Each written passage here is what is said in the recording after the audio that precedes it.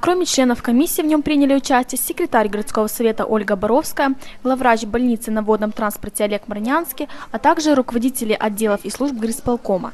На повестке дня были рассмотрены два основных вопроса и ряд текущих. Одним из основных был вопрос исполнения бюджета города за 6 месяцев.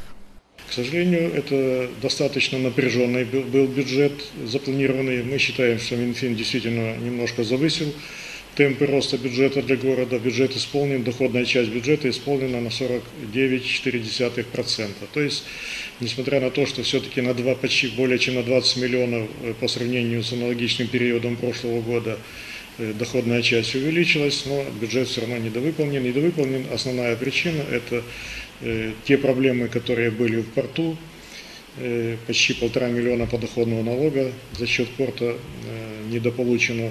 Депутаты рассмотрели выполнение рекомендаций предыдущих заседаний комиссии. Это мы заслушали причины, почему идет оттяжка начала ремонтных работ по больнице, где почти миллион восемьсот тысяч надо освоить на ремонте терапевтического отделения. Ну, считаем, что сегодня есть объективные на то причины, но комиссия оставляет за собой право контроля, чтобы в сентябре эти работы были начаты и чтобы до конца года эта сумма была освоена, то есть еще одно отделение больницы было капитально отремонтировано. Также был рассмотрен ход строительства малосемейного общежития возле Молодолинской школы.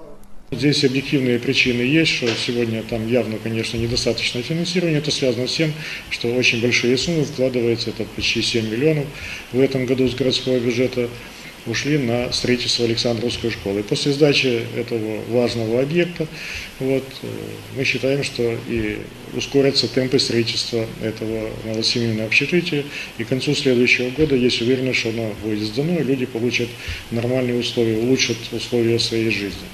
Кроме этого, были рассмотрены изменения в программах социальной защиты горожан, предлагаемые городским управлением труда и социальной защиты населения.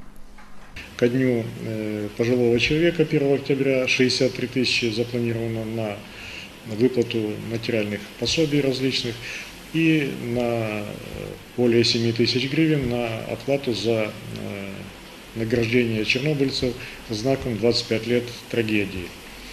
Кроме этого, были рассмотрены вопросы о переброске средств, не меняя общих объемов финансирования по городскому отделу образования, для того, чтобы к 1 сентября были успешно проведены и завершены все текущие э, ремонты, чтобы и школьные здания школ, и дошкольных э, учебных заведений были готовы к 1 э, сентября в обязательном порядке.